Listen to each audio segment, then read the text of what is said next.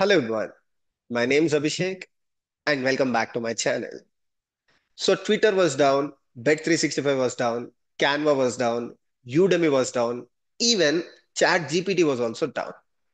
Some of the companies experienced the downtime with respect to applications, even with respect to their CI/CD systems. All of that is only because of Cloudflare. So Cloudflare experienced downtime because of one of their internal services receiving unusual traffic. What exactly is Cloudflare and why it led to this downtime?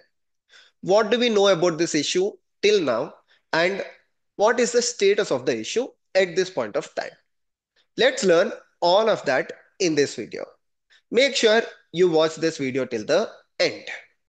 So what exactly is Cloudflare? Let's try to understand this in very, very simple words. As end users, when you try to access an application, it can be Twitter, it can be ChatGPT, your request flows through Cloudflare. So Cloudflare is the one that receives the request and forwards the request to the applications. But why companies use Cloudflare? Cloudflare does not offer a single service. It actually offers multiple services. And the most critical ones are their CDN. So Cloudflare offers content delivery network. Cloudflare also offers web application firewall. It also helps applications with privacy, load balancing, and even with respect to caching. So imagine a company wants to implement any of these features or all of these features. Instead of implementing them within their application, they can offboard the features to Cloudflare. So instead of developers in the company implementing these features, organization, typically DevOps or SRE engineers, can onboard Cloudflare, which takes care of all of these activities.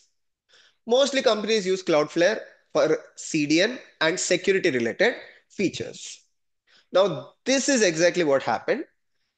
Cloudflare reports one of their internal services. We are not really sure which service, but one of their internal services experienced unexpected traffic.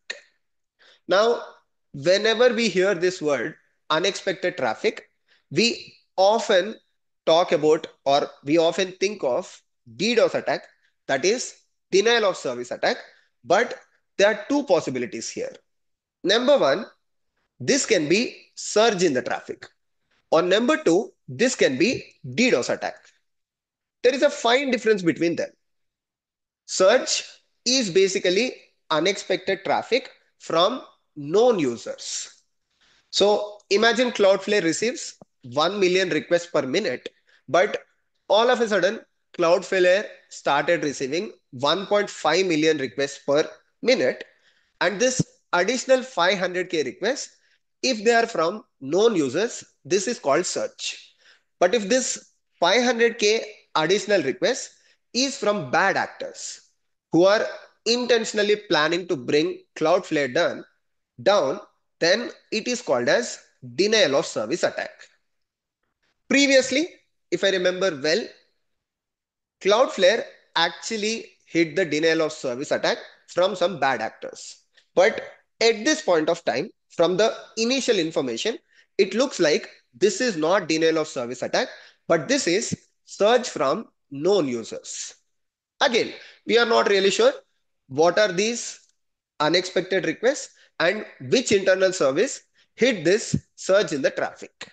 So overall, Cloudflare went down and because Cloudflare went down, all the major companies like X, it can be Udemy, Bet365, even ChatGPT using Cloudflare went down.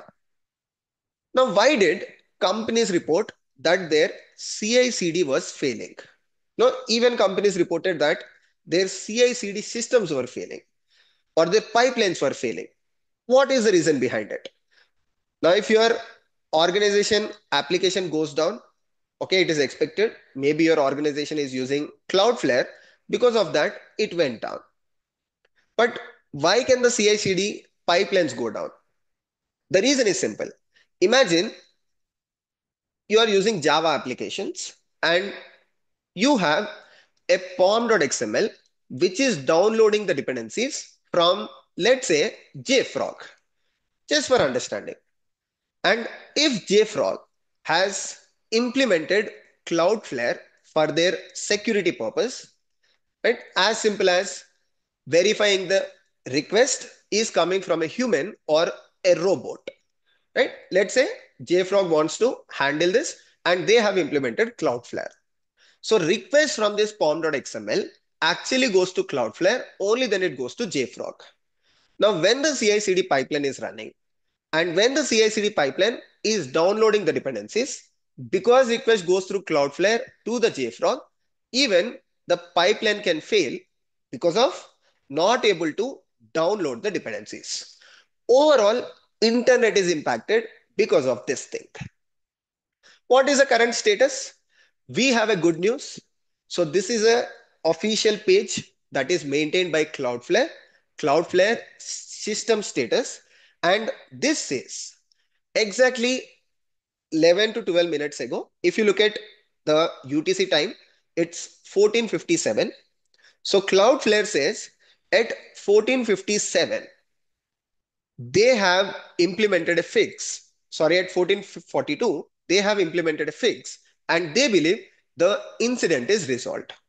However, some customers, so this is a good news for majority of the customers, but some customers are still experiencing the issue. So kind of a good news that majority of the customers are unblocked. I verified some of the websites as well, like ChatGPT, Udemy, they are back to normal. Let's wait for the complete issue to be resolved. And let's also wait for RCA from Cloudflare. When we look at the root cause analysis, we will learn more about this issue. So for now, this is what we know. If you want to know what is CDN, one of the major services provided by Cloudflare, I'll share the link in the description. You can follow that and even learn about CDN in detail. For now, thank you so much for watching the video. If you feel I missed something, do let me know in the comment section. More than happy to learn. Once the RCA is out, I will make a very detailed video explaining what exactly went down. See you all in the next video. Take care.